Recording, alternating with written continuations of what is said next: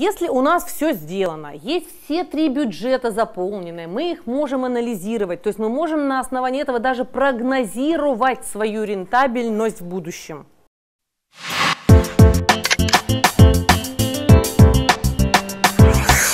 Более того, мы же любим как? Я ставлю себе большую амбициозную цель, чтобы моя рентабельность, например, для оптовой компании как, меня сейчас 10%, мне это безумно не нравится, а в среднем где-то по отрасли на 16%. Я хочу, чтобы у меня было не менее чем 16%. Могу я себе ставить такую цель? Могу. Я должна для этого в своих планах все это дело учитывать и обязательно отражать. Так вот, если говорим о ликвидности предприятия, это все, что касается в основном денег, поэтому здесь, конечно, мы будем находить стыковки бюджета движения денежных средств и в балансе балансовом листе. Если говорим о рентабельности, то это прям с восклицательным знаком. Только бюджет доходов и расходов, он нам для этого по сути и нужен, чтобы рентабельность смотреть. Если мы говорим про деловую активность, то это будет соотношение бюджета дохода и расходов и балансов. И про финансовую устойчивость тоже баланс, ну и частично бюджет доходов и расходов. Я бы хотела сейчас просто на примере некоторых формул вам показать, какая может быть ошибка, на основании чего вы неверно примете решение. Это ну, как бы выдернуты формулы из разных тем. Вот взята про рентабельность парочка и про оборачиваемость одна формула. Возьмем рентабельность активов. Ну, формула очень простая. Чистая прибыль, поделенная на активы компании, ну, так как вся рентабельность считается в процентах, домноженная на 100. Давайте представим себе, если мы возьмем все по внешней финансовой отчетности, у меня там лежат запасы, которые уже тысячу лет лежат на складе, и бог его знает, вообще я продам или не продам. Но запасы, они отражены как активы. У меня там может лежать куча какого-то оборудования, ну или каких-то там основных средств, которые тоже вот так по-честному, по-честному я уже давным-давно не использую. И лучше, чтобы увеличить рентабельность, сдать их в металлолом. Если вы уже года три не используете, так по-честному понимаете, то попытаться продать, ну или хотя бы по цене металлического лома сдать. А, поэтому вот здесь вы можете допустить глобальную ошибку в расчете активов. Ну, еще не забываем, у нас какая есть такая любимая статья в активах? Дебиторка.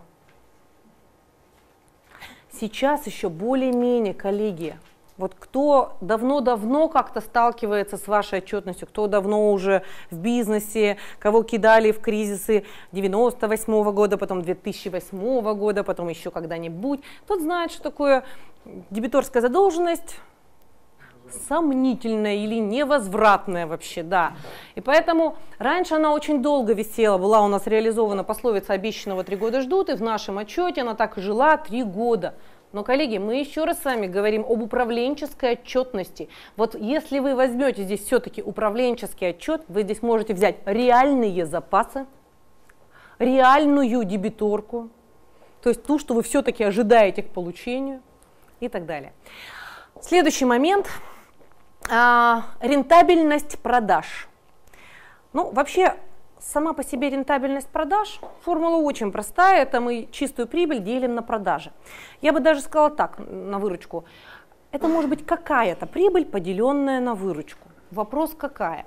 Вот большинство людей, не имеющих финансово-экономического образования, открыли книжку, прочитали, что надо посчитать рентабельность продаж по такой формуле. Подставили, посчитали.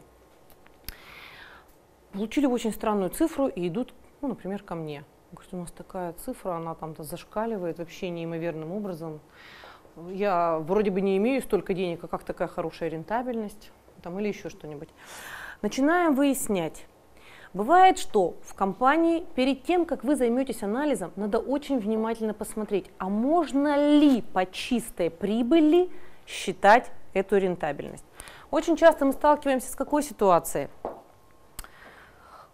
а холдинг вот я сейчас сознательно говорю вот в такой вот версии, у нас в России очень много а холдингов. То есть по-настоящему юридически это не холдинг, но так-то мы понимаем, что у нас для некой налоговой оптимизации есть 2-3 компании на разных системах налогообложения, которые там чего-то работают. Но по честности, по честности, там собственник и директор это я, один человек.